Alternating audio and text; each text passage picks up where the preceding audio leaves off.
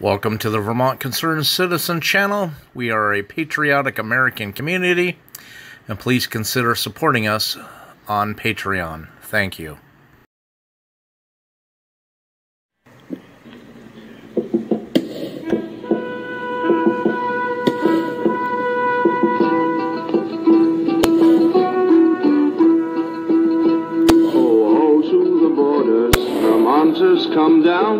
With your breeches of deerskin and jackets of brown, with your red woolen caps and your moccasins come to the gathering summons of trumpet and drum. Come down with your rifle,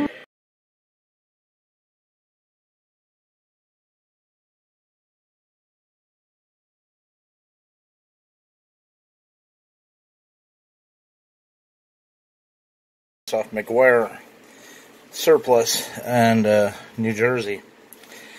You can see they got a big stain right up through there. Second pair, it's not as pronounced. Got some larger detergent soaking into it. Hopefully, I'll let that soak. Give it a good hard scrub in the wash machine.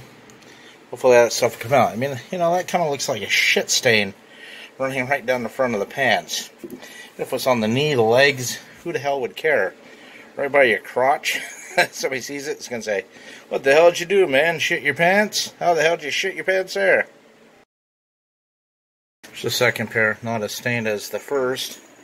It's a very light. It looks like a rust stain. That one looks more like a water moisture stain, but it's right where they were folded and how they were folded.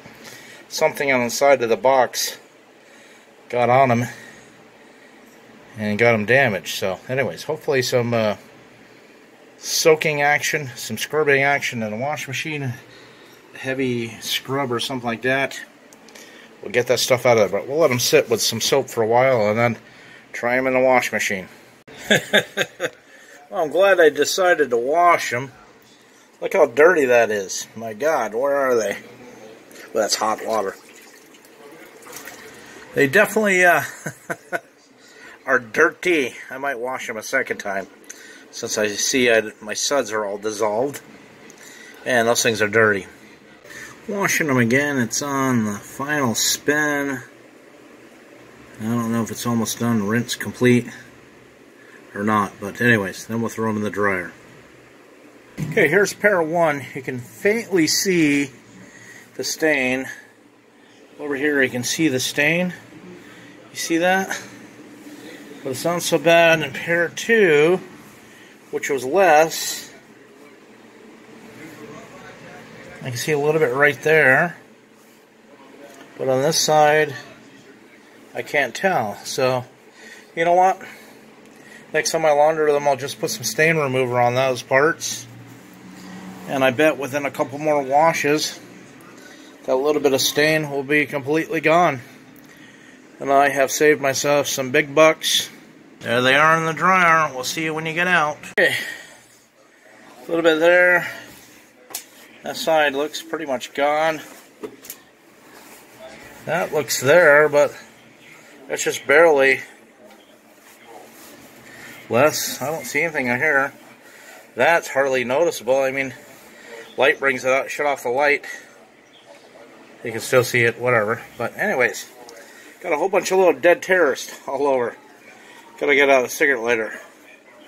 Spray these things off. They're all over these things. They're new. I washed them. And I showed you the dirt that came out of them. And the dead terrorists that need to be taken care of. So, anyways, there you go. We're done. Except for the terrorists. They look pretty damn good, you ask me.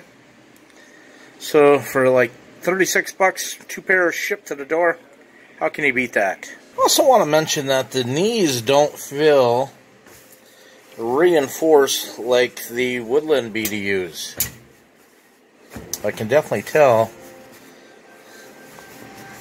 Feel up inside.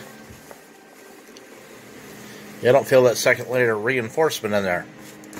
Maybe they thought in the desert you weren't going to be crawling on your hands and knees as much. Doesn't make any sense or rhyme or reason. Doesn't feel like the inside of the pant area is also reinforced. like on woodlands, but oh well. Try to probably keep the weight down, let the material breathe. You don't sweat to death. You are your first and last line of defense. Keep that powder dry. Be safe, stay armed. Please like, share, subscribe, and don't forget to hit the bell notification for future videos.